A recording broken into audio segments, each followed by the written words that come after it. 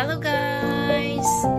So, ngayon guys, ang video ko is I want to show you uh, my a few collection for my box next next for my next box.